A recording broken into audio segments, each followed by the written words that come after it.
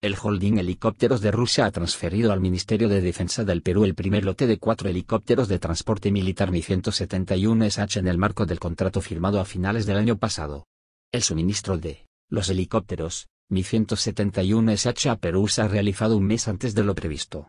Junto con los helicópteros, al cliente le ha sido suministrada la propiedad aerotécnica destinada a garantizar su explotación, según ha comunicado el servicio de prensa de la empresa. Los helicópteros están provistos de nuevos sistemas, incluidos equipos que permiten realizar vuelos en condiciones meteorológicas adversas en cualquier momento. A finales del pasado año Rusia y Perú acordaron el suministro de 24 helicópteros, 8 de los cuales deben ser enviados en 2014 y 16 de ellos en 2015. Está previsto que el próximo 9 de diciembre tomen parte en las celebraciones del Día de las Fuerzas Terrestres Nacionales.